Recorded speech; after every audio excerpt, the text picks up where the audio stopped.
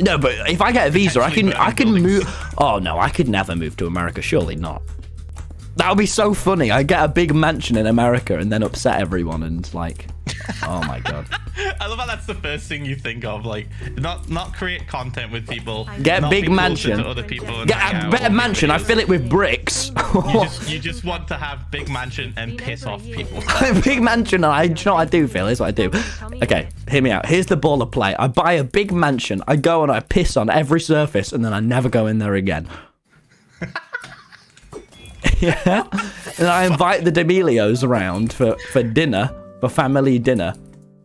As Charli, she keeps trying to marry me, but I go no, no, and I invite them around for family dinner, and they go in, and it's just the the yellow stained walls of my mansion, and I'm nowhere to be seen. I'm back in Slough, baby. That's fucking cursed. Why is that cursed?